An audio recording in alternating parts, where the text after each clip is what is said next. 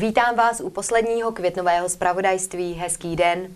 V první reportáži se podíváme do společnosti Sport a kultura Studenka. O chystaných i proběhlých opravách a akcích nám více řeknou ředitelka organizace Hanna Majvalderová a místo starosta Petr Odchodnický. Od doby, co příspěvková organizace SAK Studenka změnila vedení, proběhla na její majetku řada úprav, jak stavebních, tak organizačních. Na zimním stadionu došlo například na výměnu bazénové folie, časomíry, opravu baru i vyhořelé trafostanice. A ve zlepšování fyzického stavu této organizace hodlá její ředitelka i vedení města pokračovat dále. Co se týče zimního stadionu, tam eh, připravujeme takovou komplexní studii, dá se říct, eh, jakým způsobem pokračovat, protože ty opravy na zimním stadionu jsou velkého dosahu a velkých finančních prostředků. Eh, v drtivé většině se na to nestahují ani dotační tituly, takže na to musíme připravit eh, rozpočty i do budoucích let. Takže chystáme nějakou takovou studii. Od září připravujeme do Ficentra nové stroje, které budou sloužit především ženám. Jedná se o uh, VacuShape a takový masážní stroj Body Roll. Uh, to znamená, že bychom tímto chtěli přispět k tomu, aby do našeho centra začalo chodit více žen. Už v letech 2013 a 2014 investovalo město také do opravy střechy. I po menších úpravách, které na ní proběhly, ale stále není v ideálním stavu. Střecha zimního stadionu je velký problém. Momentálně je ve stavu, kdy je když to řeknu po česky, zalátana eh, do nějakého stavu, takže jako momentálně je funkční s tím, že tam nezatéká. Eh, každopádně ta oprava je v řádech milionů korun a jak už jsem tady předeslal, je to o tom, že je třeba připravit projekt nějakého postupného, postupných oprav. K úpravám dojde také v dělnickém domě. Jedna z plánovaných změn bude oprava foaje. Do nového vestibulu by tak návštěvníci mohli vstoupit už letos v září. Na nadcházející měsíce připravují pracovníci SAK Studenka několik kulturních a sportovních akcí. V letošním roce jsme pro občany uh, připravili již druhý ročník uh, letního festivalu. Myslím, že bude nápaditý a zajímavý. Připravujeme několik překvapení. Eh, jedno velké překvapení se odehraje eh, na, eh, v areálu bývalého koupaliště a myslím si, že si všichni přijdou na své, jak děti a dospělí a že to bude jakože super zábava. Další akcí pak bude uh, bezpečnostně preventivní uh, projekt pro děti ze základních škol, studenky a okolí 112 zasahuje a uh, samozřejmě bude probíhat také již druhý ročník takové sportovní aktivity Sport Life 2015, který právě začne na dní města a bude ukončen eh, v závěrečnou akcí letního festivalu. Nejbližší velkou kulturní akcí bude už zmíněný Den města, který proběhne v sobotu 13. června. Připravena je pro vás spousta hudby, tance a zábavy. Pro více informací o tom, co se v rámci organizace SAK Studenka děje, navštivte webové stránky www.sak-studenka.cz. Základní škola sjednocení hostila závěrečné setkání projektu Comenius Partnerství, na kterém se přes více než rok a půl podíleli kromě školy ze studenky také zástupci ze Slovenska a Itálie. Cílem dlouhodobé spolupráce bylo poznávání kultur a tradic jednotlivých regionů a zemí. První mezinárodní setkání proběhlo na základní škole sjednocení v listopadu 2013. Od té doby se zástupci škol z jednotlivých zemí pravidelně scházeli a navzájem se seznamovali s kulturami a školami ve svých krajích. Kromě studeneckých zástupců se do projektu zapojila také škola ze slovenského města Nová Ves nad Žitavou a italská škola z města Castel Umberto. Vzájemnou spolupráci si pak pochvalují všechny strany. Taká podstata celého toho projektu Kovenia je v tom, že učiteľia si vymieňajú navzájem skúsenosti a to je veľmi dôležité. Zachovávať celkové tie tradície a poznať treba aj tú Sicíliu, region, eh, v ktorom sme boli v Castel Umberto aj s vašimi mm, učiteľmi, studentky to bylo něco úplně nového. Pro nás asi nejvíce přinesla ta spolupráce se Slovenskem, protože jsme blízko a můžeme úzce spolupracovat. Není tam taková ta jazyková bariéra, hlavně pro děti. Takže jsme měli autobus dětí na Slovensku, slovenské děti zase byly tady dokonce dvakrát, setkávají se i přes sociální sítě, takže e, začali spolupracovat, přiblížili se jazyky. Zástupci italské školy by ve vzájemném poznávání velmi rádi pokračovali také, ale k poměrně velké vzdálenosti od ostatních škol může být jejich spolupráce složitější. Usnadnit by však mohlo úzké spojení s polským městem Dombrova Gorniča, které je partnerem města Studenky Castel Umberto. Možnosti spojení České republiky, Slovenska a Itálie si velmi vážíme. Díky projektu jsme navázali nová přátelství, jsou to výjimeční lidé a rádi bychom společně pokračovali i v budoucnu. Evropský projekt Comenius partnerství sice pomalu končí, ale zástupci jednotlivých škol už teď plánují další společné akce. Se Slovenskem jsme se domlouvali, že budeme úzce spolupracovat, i kdyby žádný další projekt nebyl, protože ty finance nejsou tak náročné.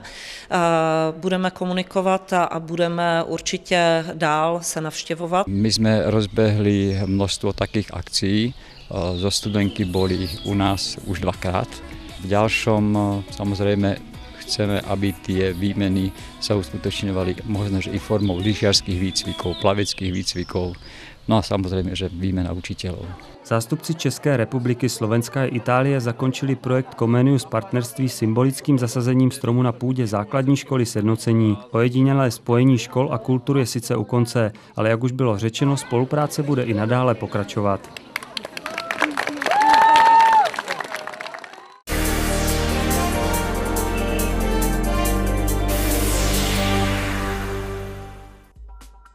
Základní umělecká škola Jana Ámose Komenského studenka zve všechny fanoušky mladých začínajících talentů na závěrečný koncert žáků hudebního oboru.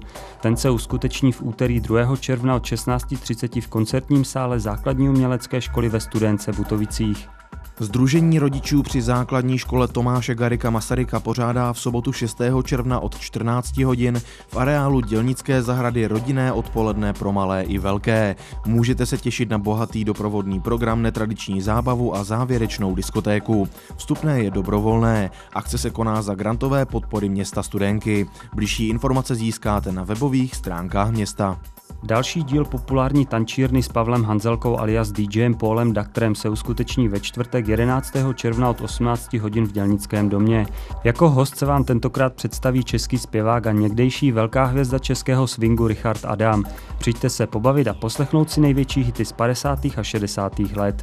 Zbor dobrovolných hasičů Studenka Butovice pořádá desátý ročník pohárové soutěže mladých hasičů v požárním útoku. Soutěž se uskuteční v sobotu 13. června od 14 hodin v areálu za Klečkou. Máte doma nepotřebné věci nebo vám do výbavy stále něco chybí? Zúčastněte se blešího trhu, který se uskuteční v neděli 7. června od 14 hodin v restauraci na Kmínku. Pro bližší informace a rezervaci prodejního místa pište na uvedený e-mail nebo volejte na 774 882 551.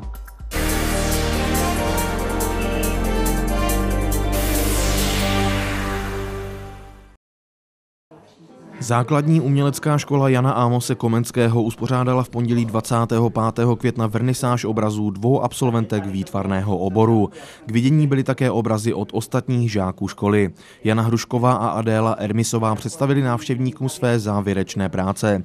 Téma Adély mělo název Vstupy, výstupy, proměny a Jana si k malbě vybrala koně a elementy. Postup při jejich pracích je jasný první návrhy, potom to převést na, tu větší, na ten větší formát, pak udělat pozadí, prokreslit koně a nakonec udělat detaily.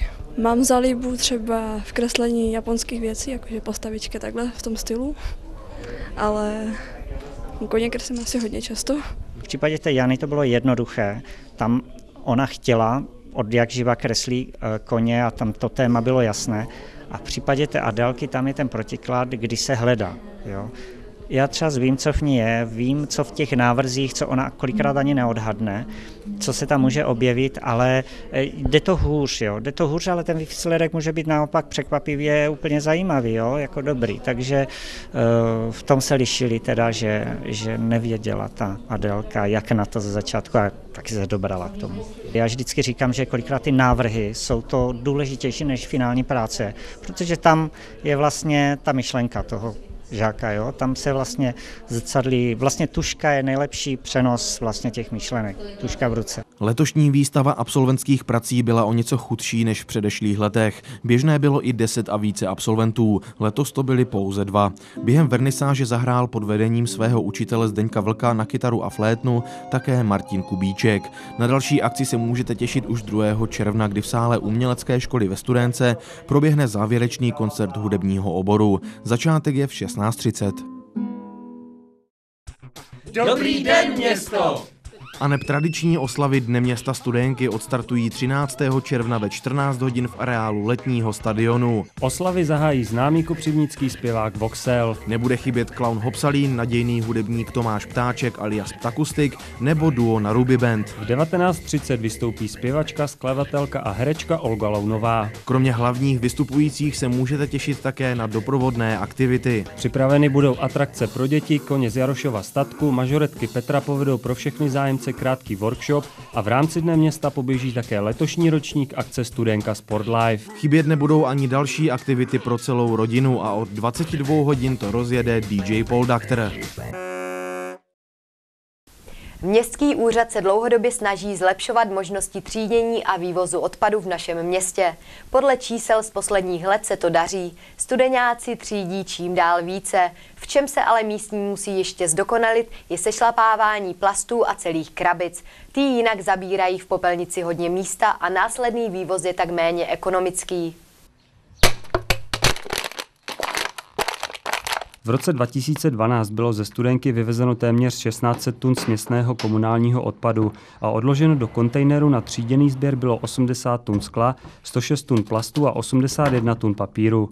V roce 2014 studeňáci už vytřídili 103 tun skla, téměř 132 tun plastu a 113 tun papíru. Největším problémem je nalezení místa vhodného na umístění těch správně mm, pojmenovaného hnízd pro kontejnery na tříděný odpad. Největší problémy v tomto směru jsme, měli a máme pořád ještě ve Studence 1 a proto jsme někdy v závěru roku 2011 eh, udělali takové doplňkové, doplňkové řešení pokusné s tím, že občané měli možnost, nebo mají ještě pořád, využívat eh, žlutých eh, pitlíků na plasty, které jim potom naši pracovníci svážejí.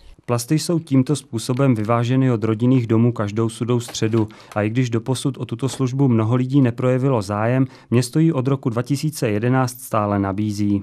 Toto opatření je hodnoceno spíše jako nekoncepční, neefektivní a neperspektivní a spíše bychom měli tou cestou zlepšování komfortu pro občany tím, že eh, budeme eh, zahušťovat síť eh, stanovišť kontejnerů. V tomto smyslu chceme ještě prověřit všechny možnosti té studence 1 a mm, pokusit se tam vybudovat ještě další stanoviště, tak aby, aby ten komfort eh, zmiňovaný byl pro občany co nejlepší. Jen pro zajímavost, jeden vývoz a uskladnění obsahu ze zeleného kontejneru na směsný odpad stojí zhruba 500 korun. Naopak za každou vytříděnou tunu separovaného odpadu získá město zpět do rozpočtu i několik tisíc. I tak studenka doplácí za svoz a likvidaci odpadu několik set tisíc korun ročně.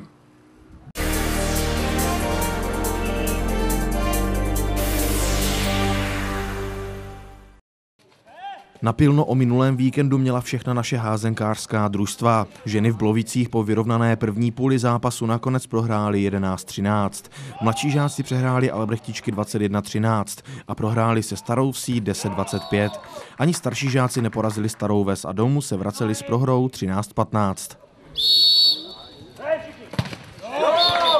Vy se díváte na záběry z utkání mužů proti Drakenu Brno. Deštivé počasí, které hru provázelo, se značně podepsalo na zápase. Po první půli hráči odcházeli do šaten za stavu 8-7 pro domácí.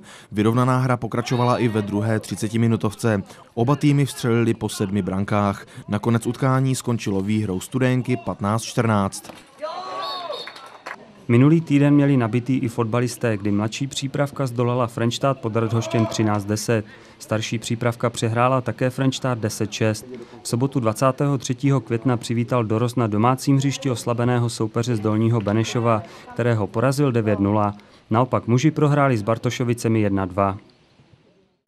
Fotbal nám dnes ukončil spravodajský týdeník. Děkuji vám za pozornost a budu se těšit na další vysílání televize Odra.